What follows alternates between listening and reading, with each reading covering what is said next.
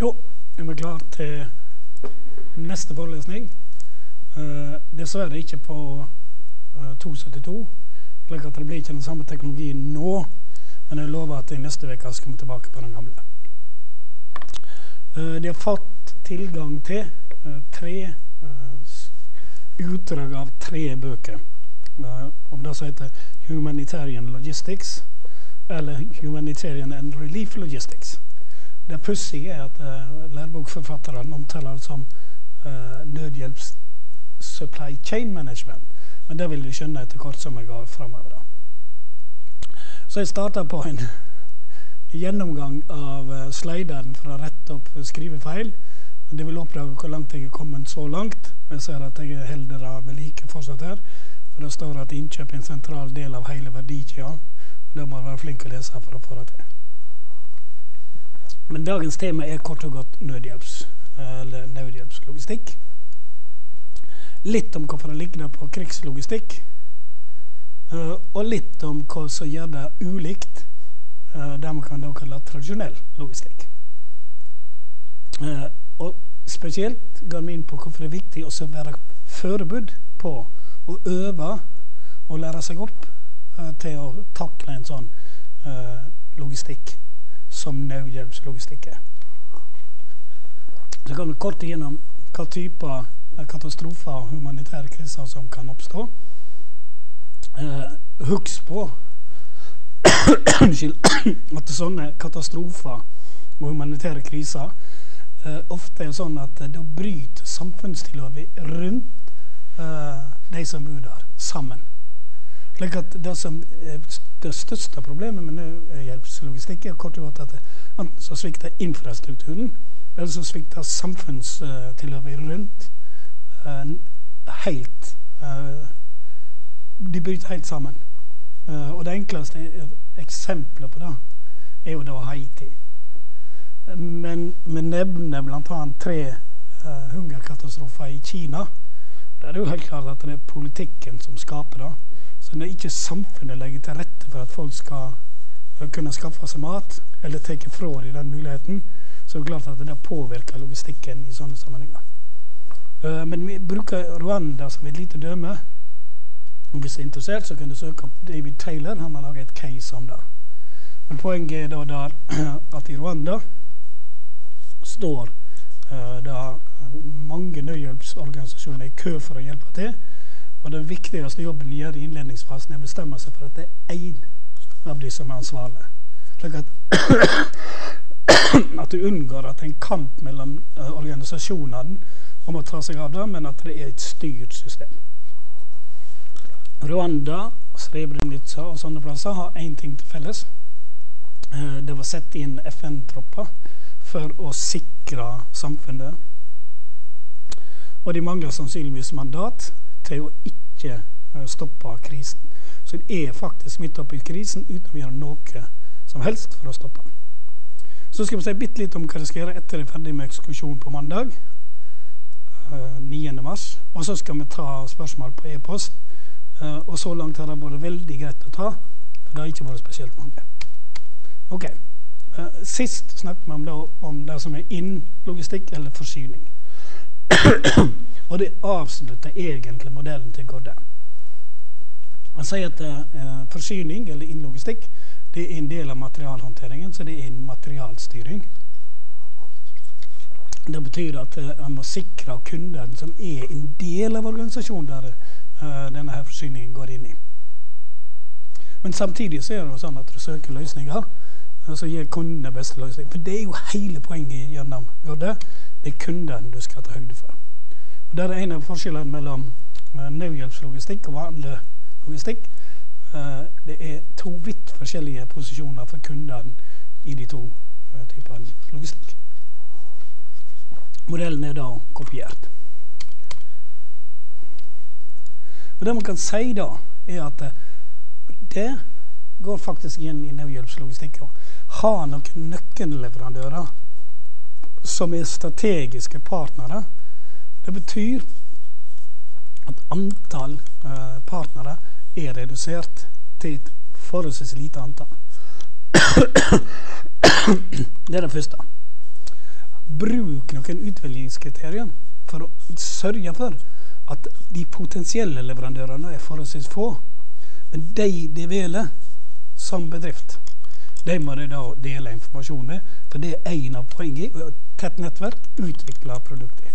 Så ser vi at det finnes ulike material- og distribusjonsstyringssystem uh, som er utvida fra liksom den enkle modellen til en mer uh, avansert modell, der du inkluderer verdikjeder Uh, eller det som da heter supply chain management. Så betyr rett og slett at i tillegg til å få forsyningen til å strømme gjennom systemet, så har det noe med både finansiering av det, innkjøpet av det du trenger, og markedsføringen som en del av hele verdikjeden. Så det er det som utvider de to, som med distribusjonsplanlegging. Det betyr at du kan uh, påvirke lageret når det gjelder distribusjonsstyringen. Uh, du må vurdere om du skal bruke manuell innsats. Du må sjekke på hva slags transportkapasitet du må ha. Det kan godt hende at den skal være mindre, for du skal frakte oftere. Og så må du ha finansielle opplegg som finansierer hele systemet.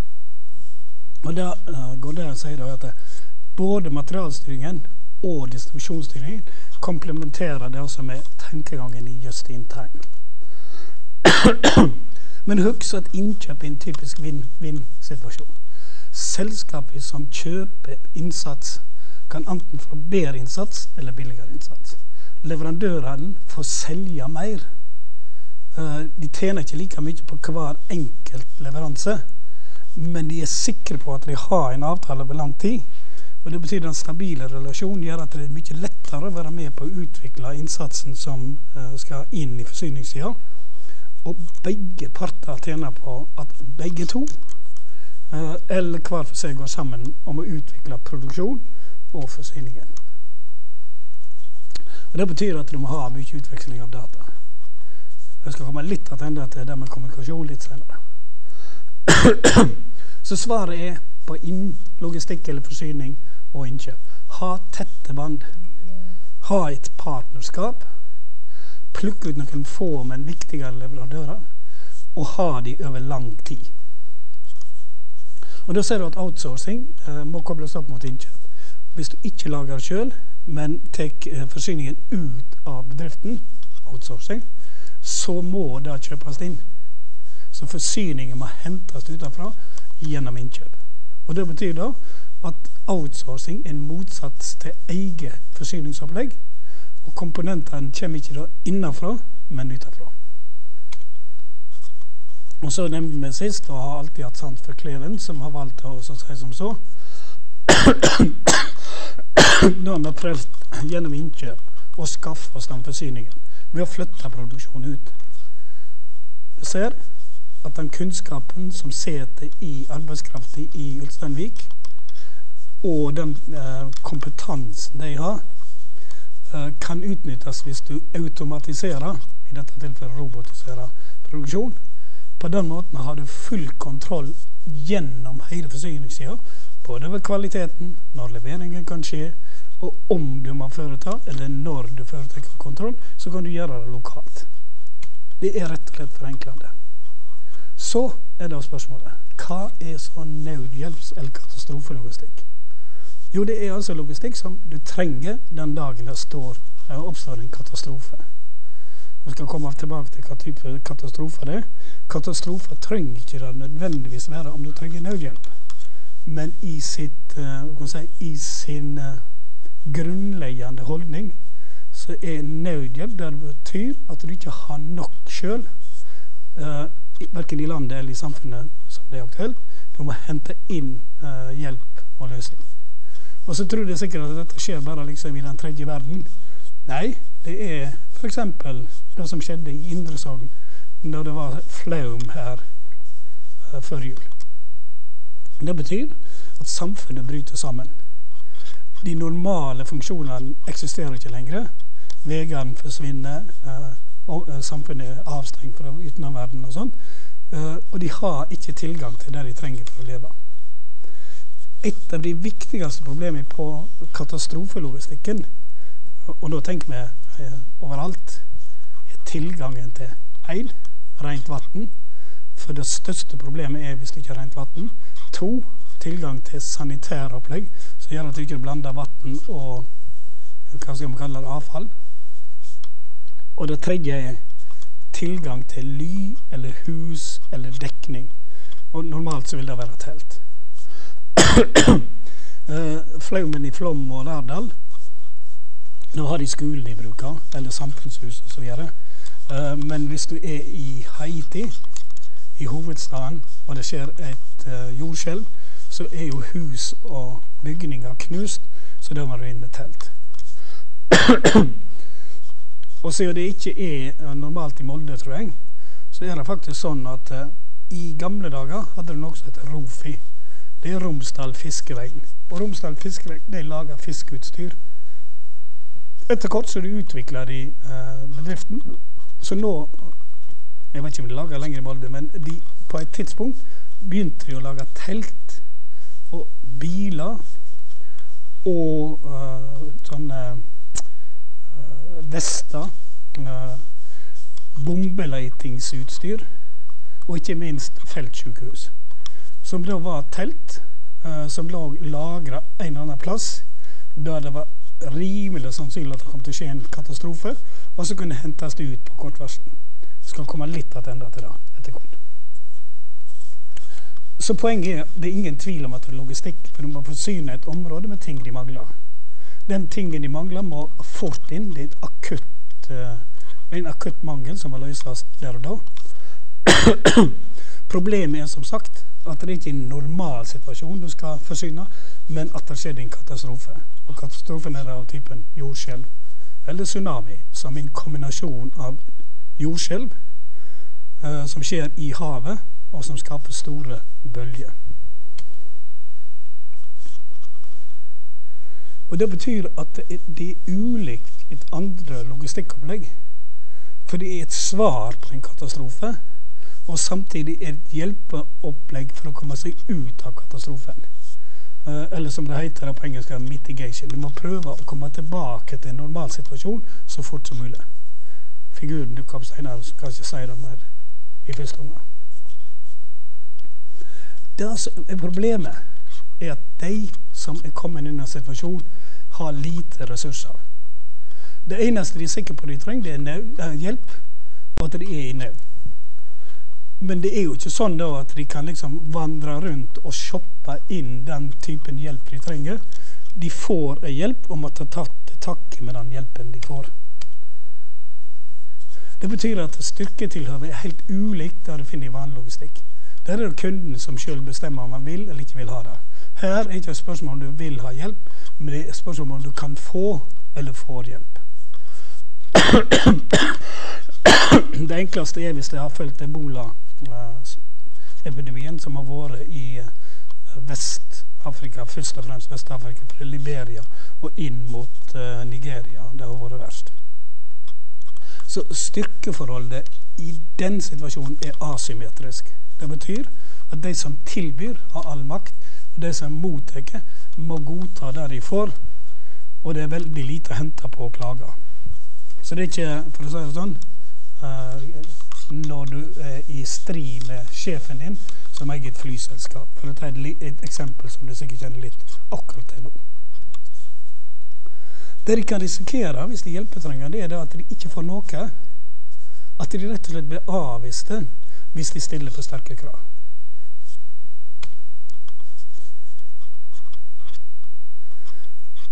De fleste hjelpeorganisasjonene vi snakker om i dette tilfellet, er såkalte non-profit organizations. Det betyr altså de private organisasjoner som driver en aktivitet, eh, men de skal ikke ha overskudd på det, for det er ingen eiere som skal ha tilbake penger på en investering. Tvert om så eh, oppfordrer de eh, de som støtter organisasjonen, om å gi bidrag. I Norge så er det sånn at du får lov til å dra deg fra på skatten, så det eneste som støtter deg på det du gjør, er at staten gir deg skattelette. Men de fleste gjør det uh, av eget ønske, og det yter litt forskjellig ut ifra ulike motivasjoner. Så det er altså ikke tanken på at de skal bruke bare en del av det de samler inn. De skal stort sett bruke alt de samler inn. Uh, og så var det en diskusjon om de har for stor administrasjon eller ikke, men den lar vi ligge her. Unntaksvis kan det være internasjonale overnasjonale organisasjoner. og Da tenker vi vanligvis på Unicef, uh, for å ta noen Verdens matvareprogram uh, og noen lignende. Så det er også det FN-organ der han bruker FN sine midler til å hjelpe i nødhjelpssituasjoner. Eller kan være nasjonale. I Norge så er det vel best kjent som Norad. Det er en av de. Det betyr altså at staten har et eget direktorat som bruker penger på utviklingshjelp. Og i utviklingshjelp ligger det også sannsynligvis en del hjelp i tilfelle krise og, og, og katastrofer. Men det normale vil være at de ikke er statlige eller nasjonale. Så derfor kaller vi det som på engelsk heter NGO, som betyr Non-Government Organizations. Så det betyr altså at staten har ingen interesse i de som driver dette hjelpearbeidet. Den mest omfattende definisjonen finner vi i uh, den her, som heter 'Humanitarian Logistics Meeting the Challenge of Preparing for and Responding to Disaster'. Det er altså Martin Christopher og Peter Tatham som har skrevet henne. Uh, eller egentlig redigert henne. Og som poenget er altså du skal møte den utfordringen som ligger i å være forberedt på en katastrofe, og så skal du svare på en katastrofe når den oppstår. Så altså du driver på forhånd og legger opp i system, slik at når du, katastrofen skjer, så har du øvd deg på det meste som skjer. og det kaller nødhjelpslogistikk for en planleggingsprosess som effisient altså effektivt på norsk, og kostnadseffektivt gjennomført, som kan kontrolleres eh, både når det gjelder flyten av det som trenger i nødhjelpssituasjonen eller katastrofen, lagring av varemateriell, altså det ligger der og venter på at det skal være på plass, eh, og det skal være informasjon om hva som er der, hva som skal brukes, hvem som skal bruke det osv. Når hjelpeaksjonen starter, til de som trenger den hjelpen de skal ha, har fått den. Så det betyr altså at det starter med at de her og nå med lys på tavla planlegger. Og det er aktiviteter de planlegger. Så skjer katastrofen.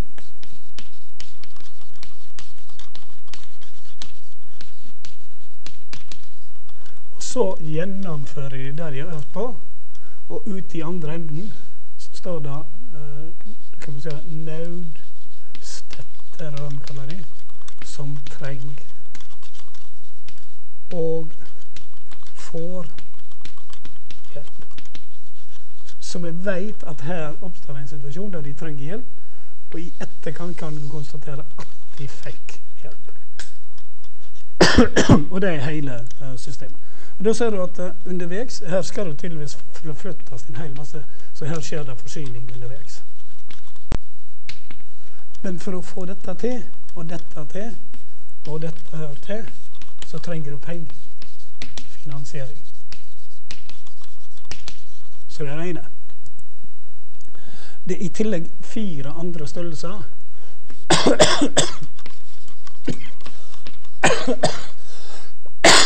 det er den viktigste sannsynligvis er personer. Så det som står her, er at dette er et forsyningsopplegg. Uh, men det er et supply chain management-problem, for at du skal både finansiere og få på plass personer og litt mer for at dette skal fungere.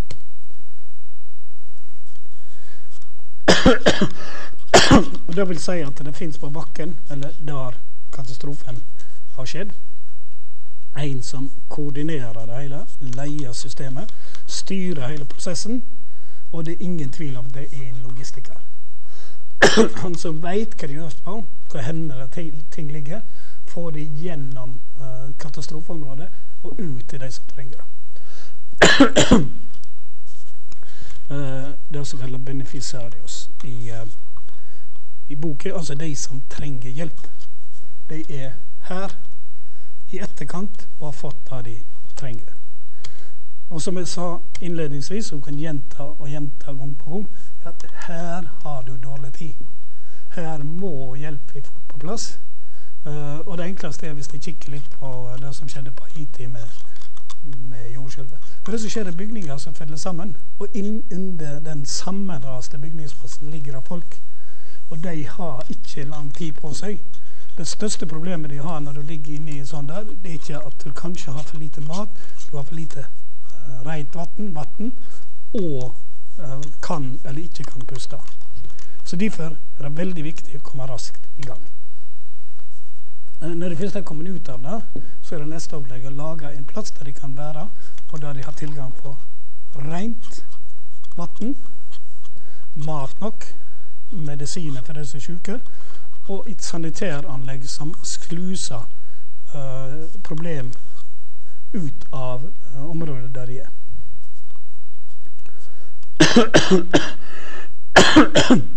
De fleste av planleggingene vet ikke hva slags katastrofe de skal brukes i. Og du vet ikke hva du har bruk for før katastrofen oppstår. Så problemet er å vite hva du trenger den dagen en katastrofe skjer.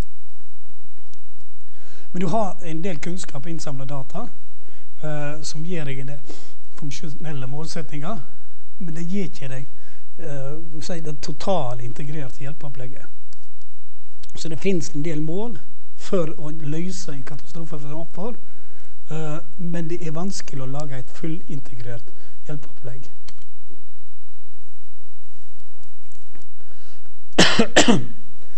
Normalt så vil en del av det være finansiert. Men det de sikkert har oppdaga, er at når det skjer en sånn katastrofe, så starter innsamlingene. Uh, og det som ofte skjer, er at hvis det er store katastrofer, så får det offentlige løyvinger inn i systemet. Men det er i selve krisen, katastrofen, at det blir fokus på den type aktivitet. Og Det betyr at de som driver hjelpeorganisasjoner, prøver umiddelbart å utnytte det for å skaffe seg penger. Både for den aktuelle katastrofen, men nå får de dekke opp de pengene som går med i forkant, og som må til i etterkant for å planlegge for neste krise eller katastrofe.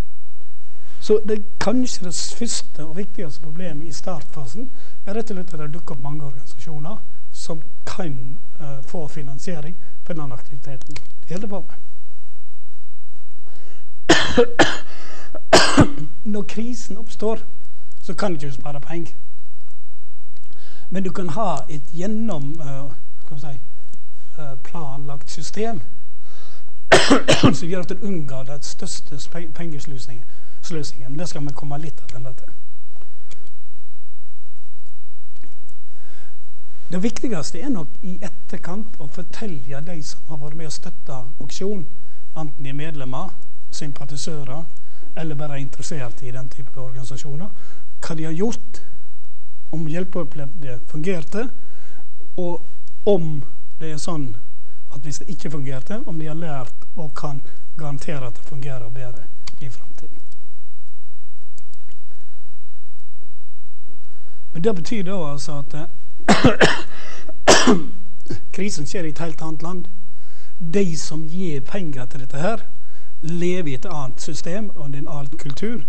Og Derfor så betyr det at de tiltakene og gjennomføringen kan ikke brukes ut ifra det landet organisasjonen er lokalisert i, men i det landet den er. Så det må skje tilpasninger og justeringer. Men husk, den største forskjellen er at de som betaler inn her i forkant, de lever ikke i denne kulturen her. Og er sannsynligvis ikke fortrolig med hva som skjer. Så derfor er det viktig at de som gir penger, får denne attendemeldingen at systemet fungerer.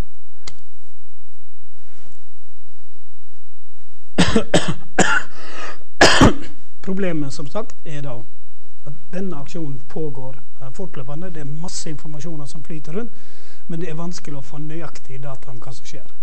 For husk at det skjer under ekstremt stress. Uh, det er veldig lite tid til overs til å gjøre noe annet enn gjennomføre aksjon. Dette ble verre. Så dataen må i tilfelle samles inn etterpå. Men de som gjennomfører selve logistikken når katastrofen oppstår, de har ikke tid til å samle inn data.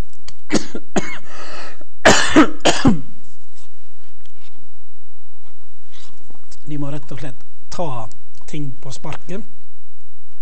De kan ha gjerne et godt planlagt opplegg. Unnskyld. Under øving så kan det ha fungert veldig godt. Men når katastrofen er der, så blir det vanskelig.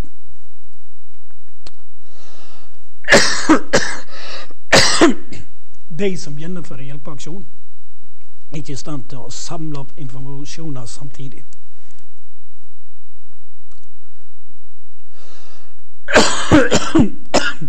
Derfor så er poenget at man prøver å lage et system der en samler inn kunnskap som gjør at den aktuelle krisen muligens ikke nyter godt av det, men iallfall eh, gi informasjon tilbake.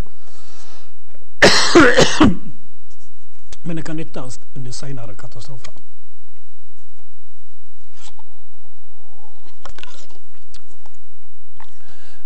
For det store utgiftsopplegget i denne her situasjonen her, det er jo å få det som er planlagt, på plass. For uh, til å ta høyde for hva som skjedde i katastrofen, og ende opp med at folk er fornøyd utenfor. Så logistikkopplegget når katastrofen skjer, er det som stort sett uh, påfører organisasjonen utgjøring, eller utlegg. Uh, så poenget når du starter en sånn aksjon med nødhjelpslogistikk, det er jo da å sørge for at de som trenger hjelp, får effektiv hjelp. Og i tilfelle det er noe som de trenger svar på, så kan de da ta det gjennom katastrofen. slik at når det oppstår et problem som de ikke har løsning på, så kan de finne et svar underveis. Uh, og en av poengene kan være sånn som du så så i Rwanda. Der så du da altså at uh, når du kom inn, så er samfunnet i ferd med å bryte sammen. Det er ikke infrastruktur. Det er veldig mye som skal inn i dette uh, området her, som er et tropisk uh, regnskogsområde. Så bryter rett og slett transportsystemet sammen. Og det ligner på det som skjedde i Russland, da tyskerne invaderte Russland, eller Sovjetunionen i 1941. Det er altså ikke eh, verken VG eller eh, si, eh, grunnlag for å transportere på bakken om å finne andre aktuelle løsninger. Iallfall ikke lastebiler. Og iallfall ikke tunge lastebiler. Så i sum betyr det at de som er her, er i en ekstremt utsatt posisjon. Det betyr at den hjelp vi må få, bør oppfattes som å være verdig og iallfall tilfredsstillende for de som trenger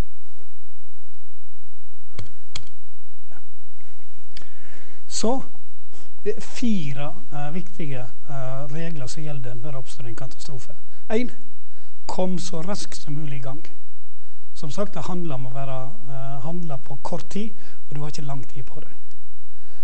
To det største problemet i startfasen er at folk, eller livet til folk er, er utsatt. Så den andre delen er at du skal spare liv, eller eventuelt sikre liv, til de som er i nød. Så, når du har kommet så langt at du har fått si, lovelevende ut i en leir, så uh, oppstår det da uh, si, uh, en samling av personer med muligheter til å spre sykdommer og epidemier. Du ser det lettest med eh, ebola når det gjelder epidemier. Men sykdommer kan være f.eks. kolera. Så du må ha medisin mot eh, sykdommer eller for å hindre vaksiner for å hindre epidemier. Og jeg tror at en av de største problemene med ebola er at det skjer i en av de fattigste landene som er mest korrupt, som har minst fungerende offentlig sektor, som betyr at de ikke har eh, f.eks. vaksiner og medisiner mot sykdommer. Eller om de har de, så er de bare på få plasser, og gjerne langt unna de som trenger det. Og da du kommet så langt at hjelpeaksjonen er på gang. Du har sikra deg liv som kan spare, eller spart deg liv, og sikra deg liv som går an. Uh, du har medisinert og kommet i gang med si, helsearbeidet rundt katastrofen. Og da må folk få ly, normalt tenkt, telt. De må ha rent vann, som kanskje er det største problemet. De må ha mat for å overleve. Og så kan det godt hende at det de strengt tatt egentlig trenger, taket på hodet og et ullteppe når det blir kaldt om natta. For de har nesten ingenting med seg. Og iallfall nesten ingenting rent som de har med seg. Så de må ha altså, noe som kan verne dem mot kulde.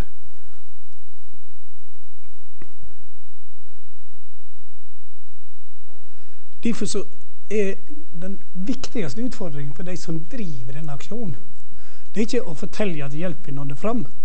Uh, det viktigste er å fortelle at den hjelpen som nådde fram, var rett og tilstrekkelig for de som kom i krisesituasjon. At hjelpen når fram, må vi ha tro på at å gjøre. For skal hun være både rett og tilstrekkelig, så må hun ha nådd fram. Så det er kanskje det enkleste svaret så langt. Uh, så det litteraturen konkluderer med, er at de trenger å studere hjelpeopplegg på tvers av organisasjoner og over hele fasen fra katastrofen oppstår, til folk føler at de har fått uh, nødvendig og tilstrekkelig hjelp. Så de studiene, for å si hva kan du gjøre annerledes, eller hva var rett gjort, uh, er kanskje det viktigste. hva er det som kjennetegner en nødsituasjon, er følgende. 1. Det normale livet bryter sammen. Jordskjelv, huset ramler ned. Uh, verken uh, mulighet til å skaffe seg mat eller drikke. Uh, eller Rwanda, det sosiale nettverket som er samfunnet lokalt, bryter sammen. For det viser seg at naboen har planlagt å ta livet av dine naboer. Og Det betyr at du er ikke lenger et sosialt nettverk. Du kan ikke stole på noen. Så, som jeg sa også om Rwanda, veier, infrastruktur og sånt, er ikke lenger i funksjon. Det tydeligste på Haiti, for det bryter jo nesten alt sammen sammen. For det er så stort og omfattende jordskjelv. Så det betyr at verken individ eller samfunn er i normalt gjenge eller lager. Alt er ute av lager eller i ulager. Så kanskje den viktigste jobben gjennom hele hjelpeaksjonen her, det er å prøve å få på plass til det eh, lokalsamfunnet, slik at det begynner å fungere igjen, og at individet eh, kan føle seg trygge og fungere som en del av et samfunn. Eh, det er da referert til Quantarelli og Dynes. Høres nesten ut som en nordmann, ikke helt sikker. og det viktigste i en hjelpeaksjon er at han tar vare på de sosiale, altså de samfunnsmessige, kulturelle, altså det som har utvikla seg over tid i lokalsamfunnet, uh, at det blir sikra. For vi vet at det blir påvirka av den katastrofen som skjer. Og Det betyr at en må ha en hjelpeaksjon som tar vare både på individ, den enkelte personen altså, familien, for det er jo en struktur rundt dette her som er knyttet til en familie. Og de, sam, de familiene utgjør totalt et samfunn. Og samfunnet kan være et lokalt samfunn, det kan være et litt større bysamfunn, eller det kan være hele eh, nasjonen. Og det er ingen tvil om at det som skjer i Rwanda, og iallfall i Haiti, er med på å bryte delvis ned av samfunnet som var der. Så det er den store utfordringen på en del av katastrofen.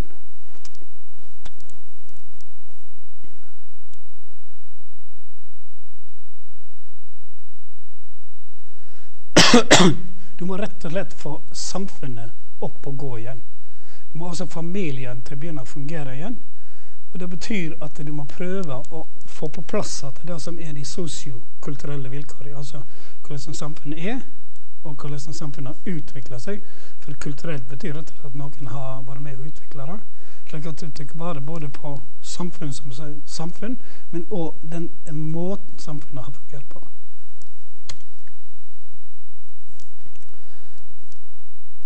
For en katastrofe er egentlig en trussel mot livsvilkåret til de som er der, og livskvaliteten til de som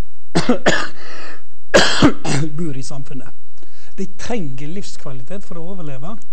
Og den livskvaliteten vil i katastrofesituasjoner Det er snakk om å overleve på kort sikt.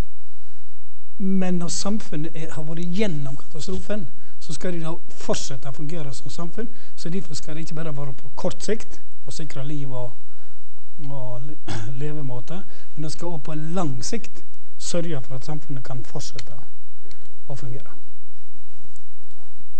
Det vi vet, er jo at de som tilbyr hjelp, eh, de mangler den informasjonen. For det er mottakeren som vet best hva de trenger.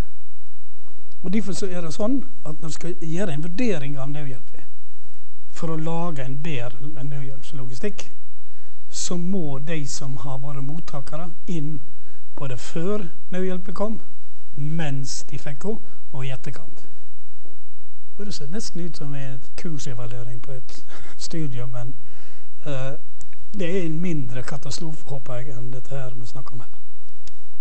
Uh, men det betyr jo at hvis mottakeren kan være med i prosessen, så kan det gi den tilbakemelding som gjør at uh, nødhjelpen kan bli bedre og fungere enda bedre, må vel si, for å i framtiden gi de som trenger hjelp når en katastrofe oppstår, uh, hjelp til å kunne leve videre og leve et verdig liv.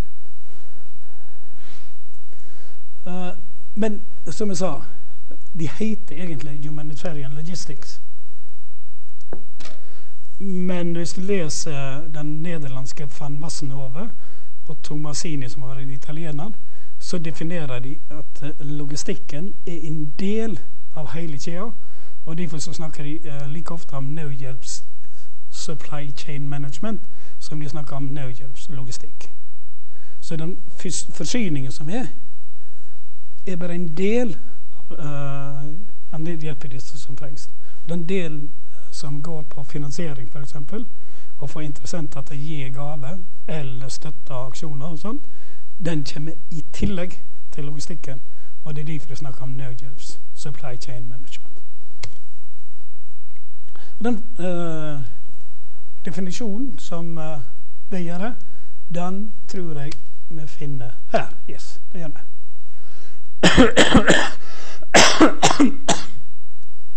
Og da står det at det er fem person, eller fem element igjen. Og det er det som uh, da uh, de kaller boxes, bites, bucks, bodies and brains. Boxes betyr rett og slett uh, de tingene du trenger av f.eks. medisin, uh, rent vann, ullteppe, telt, mat av forskjellige slag. I tillegg Så det ligger her. Så det er det som skal inn. Og det kommer da ifra de som tilbyr det, eventuelt de som er med og lager det, de som distribuerer det. Det kan godt være sånn at det går gjennom uh, mindre aktører, og så kommer det ut til kundene. Så dette er den tradisjonelle logistikken, og den kan brukes om det som heter nødhjelpslogistikk, og de fem uh, elementene som er her. Så det som står der er at skal du ha en nødhjelpssituasjon, så må du ha uh, mat, klær osv. Uh, når eller hva hender det er tilgjengelig, krever at du har en informasjon både før, under, og du samler opp informasjon til etterkant. For å ha et lager her, og ha et system som er registrert her, så trenger du penger. Så det betyr materials, det er boxes. Altså de tingene som skal inn. Information, er bytes. Det betyr altså den uh, kommunikasjonen som skal samles opp i form av uh, overført uh, kunnskap. Box er rett og slett Hva sier en på norsk? Cash står der. Så står det at du skal ha personer, people, eller buddies, som betyr rett og slett at det her er et visst antall personer som må inn for å gjennomføre hjelpeaksjonen, først og fremst. Og så plusser han på Hva er det som gjør dette vellykket? Jo, det er at du har kunnskap, eller brains, og si, evne eller kompetanse, som vi sier på norsk, også brains i den sammenhengen der. Så du kan si det er den kjeda som er i hjelpe, nødhjelpssituasjonen. Inn det du trenger av matklær, alt som vi sa. Eh, samle opp informasjon eller basert på informasjon du har, skaffe midler som gjør at du kan gjennomføre aksjon, og ha personer som kan gjennomføre. Og etter hvert så utvikler dette kunnskap og kompetanse. en av de mest kjente hjelpearbeiderne som har markert seg aller mest i media i Norge, det er en som heter Mats Gilbert.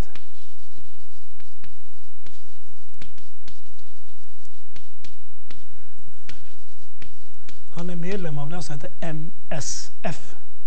Det er en fransk organisasjon som heter Medicine Sans Frontier, som betyr Leger uten grenser. Så vi vet dermed tre ting om Mats Gilbert. Han er en doktor, lege. Han jobber i tillegg til å ha en fast jobb eh, i Tromsø, på Universitetssykehuset i Tromsø, så er han av og til ute i hjelpeaksjoner utenfor Norge, altså Sans Frontier. Og Sans Frontier betyr at det, uh, det han har gjort Jeg har stort sett vært med på hjelpearbeid i Gaza, men hvis jeg har fulgt med i det som skjer i uh, Vest-Afrika og ebola, så er det uh, altså Leger uten grensen som er der. Og det er ikke bare Mats Gilbert som var inne. Uh, de vet sannsynligvis sånn som jeg ikke hva dama heter, men det var ei av de som var i Leger uten grenser, som kom tilbake over ebolasmitta til Norge. Og hvis jeg blar litt bakover i tid, så ser det reportasjen når hun kommer til Norge ble eh, handla på sykehuset i Oslo og kommer ut igjen og er frisk. Og Det betyr at sjøl selv ebola går det an å eh, si, behandle og redde liv. De som gjør det, er gjerne av den typen som Mats Gilbert og hun dama. At normalt så har de en annen jobb, men når katastrofen oppstår, så legger de til side sin daglige jobb, og så er de inne her. og I og med at de er inne i sånne hjelpeaksjoner, så skaffer de seg både kunnskap og kompetanse som er nyttig å kunne. Men husk en ting som er viktig i det som er Leger uten grenser. De driver daglig innen denne bransjen her. Grunnen til at de er ekstra viktige i hjelpeaksjoner, er at de har utvikla mer kunnskap og mer kompetanse gjennom sin daglige jobb, som de kan ta med seg ut i nødhjelpssituasjonen.